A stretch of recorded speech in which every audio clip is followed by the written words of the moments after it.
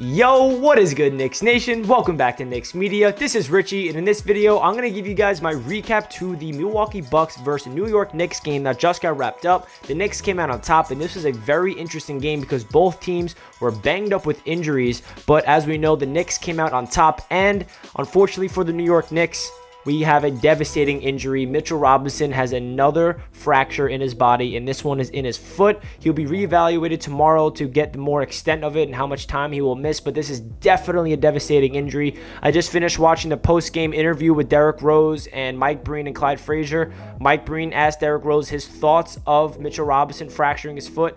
Derrick Rose obviously did not even know that he broke his foot, and he found out live, and he was devastated. Derrick Rose was heartbroken. He got emotional, and he started getting choked up a little bit, and he had to leave. And that tells you how much this team is connected and how much of a big blow Mitchell Robinson is for the New York Knicks. So I'm going to give you guys my thoughts on the entire game. And before I do so, if you guys are new to Knicks Media, please do not forget to hit that subscribe button. If you guys want to check me out over on Instagram and Twitter, that is at nyknicks underscore media. And if you guys enjoy the video, please do not forget to thumbs it up. With that being said, let's jump right into my recap video. So, as we know, the Milwaukee Bucks were so decimated with injuries and the Knicks were decimated with injuries as well, but the Bucks were way more. I mean, they had Giannis Antetokounmpo out, Khris Middleton, Holiday, Bobby Portis. I mean, they're like I think they had four starters out and three rotational guys, and they had a lot of players starting. I think they had three players starting for the first time ever in their career. Thanasis Antetokounmpo, former New York Knick, had a career night on us. He had like four for four from downtown. It was a dog.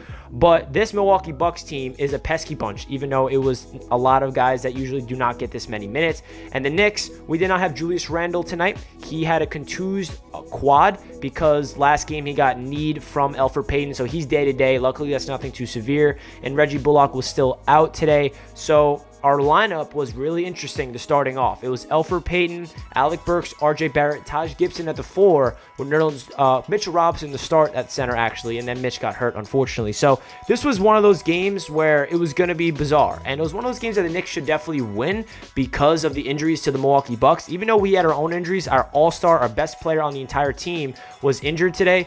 But the amount of people that are out in Milwaukee, it was one of those games we had to win. And it was a pesky, really hard-fought game all the way till the wire. You got to give the Milwaukee Bucks a ton of credit. They played zone all game, which was pretty wild. Usually teams play the zone against the Knicks, but they go in and out of man-to-man and zone. But they played zone from the beginning to the end, which was really insane. But let's get into some individual performances for the New York Knicks. RJ Barrett, he finished with 21 points, 7 assists, 7 rebounds. So this was a very all-around great game from RJ Barrett. He did shoot the ball pretty inefficiently, however, 8 of 22 from the field, 1 steal, 3 of 10 from downtown, 2 for 2 from the free throw line. So RJ, he had to chuck up a lot of shots because Julius Randle's out, and he had to become the guy that needs to chuck everything up because that's usually Julius Randle's role. I think he did a really good job tonight. I think he was poised. Some of his shots didn't fall, but he understood that he needs to do more than just put the ball in the rim. He facilitated the rock way more than we've ever seen. I think this is a season high seven assists, maybe even a career high for RJ Barrett in assists. Seven is very good for RJ because we know that he's developing his game as a playmaker. So it's really good to see because Julius Randle, he leads the team in assists. So it's good to see that RJ knows, like, okay, Julius is down. I need to put this team on my back and start facilitating the rock because Julius is the engine of this team. He's the head snake. Everybody really runs behind Julius, and Julius finds everybody. So it's good to see RJ Barrett do that, find people down low, dish it out to the corners, and he had a pretty good game tonight for somebody that needs to step up into that number one option role. Even though he shot inefficiently, I am not complaining. 21 points, 7 assists, 7 boards for RJ Barrett is very good, especially that we got the W. Another great game from Alec Burks. This is like his fifth fifth or sixth straight game with 20 plus points, and he is just absolutely doing such great things for the New York Knicks.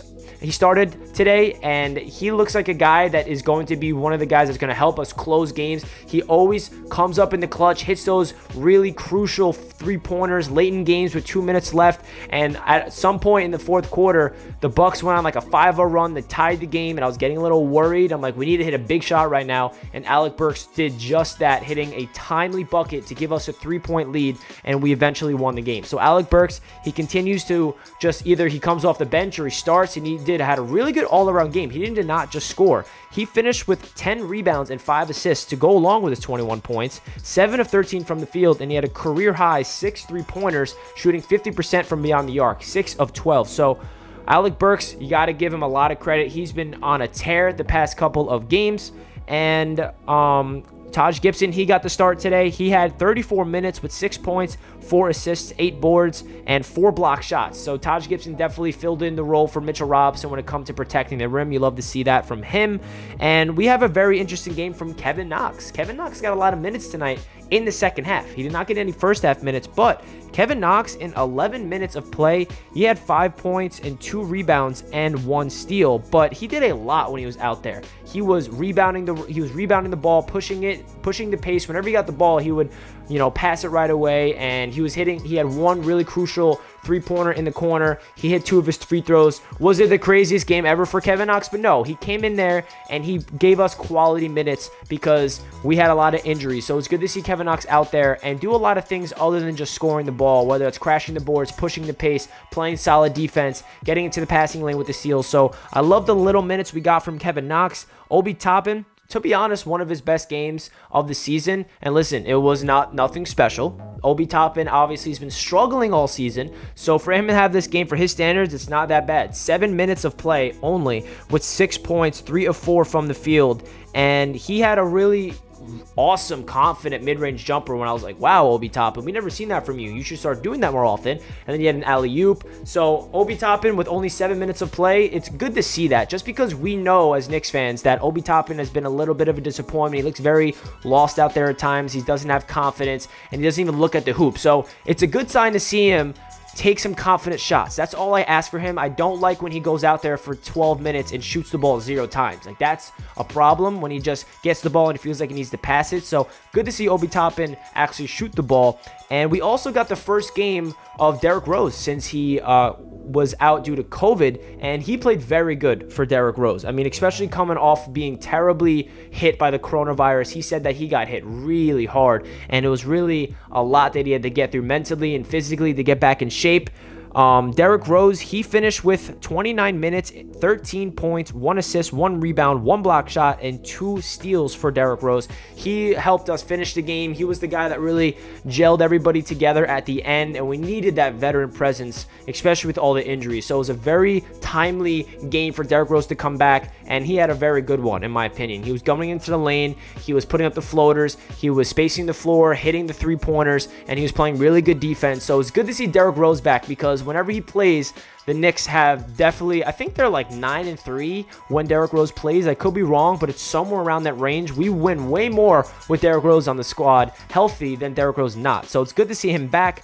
Um, another player who had a really good game, Immanuel Quickley off the bench. He finished with 13 points, 5 assists, 3 rebounds, and one block shot, one steal for Immanuel Quickley, four of 10 from downtown, shooting four of 10. So Immanuel Quickley continues to be the spark plug. He comes in off the bench, he hits timely shots, and when he's hot from downtown, he looks like so smooth. I mean, it looks like he's shooting free throws at times because Immanuel Quickley is destined to have such a great career with the New York Knicks, and I'm so excited to see him get better and better as he progresses throughout the season and his career down the line, obviously. But everybody on this team tonight played a crucial role in this W because we went up against a very pesky bunch in the Milwaukee Bucks. A lot of young guys that got minutes for the first time and they want to prove themselves, saying, like, listen, I'm more than just a bench player. This is my opportunity to show what I got. And man, a lot of players in the Bucks showed up. They just kept hitting timely shots shots, crazy contested three pointers every single possession it felt like. So shout out to the milwaukee bucks because even though you guys were decimated with injuries they definitely showed up. But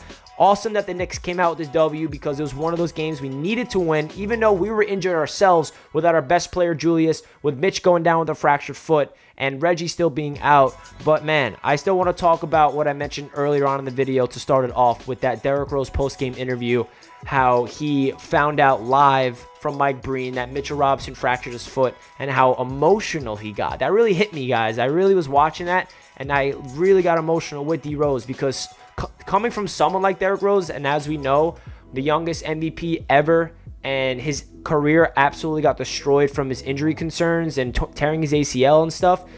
He understands how much it means to somebody that young to just get ridiculed injuries, especially coming off a fractured hand. Mitchell Robinson fought so hard to get back and then he was looking so good when he got back too. He had one of the best games of his uh, of the season a couple games ago with like 16, 12, and four block shots, and then he goes down with a fractured foot. And the injury looks so weird. I saw the replay of it, and I didn't see anything wrong. It looked like a non-contact fractured injury. I don't know how it happened, but it's devastating for Mitchell Robinson because he has so much potential. He has so much room to grow. He's only getting better and better, but he cannot stay on the floor, and it's devastating news for the New York Knicks. As of right now, Andre Drummond, the Knicks apparently are not interested. That report came out before Mitchell Robinson got injured, and we also find out that the Los Angeles Lakers are the front runners to land Andre Drummond.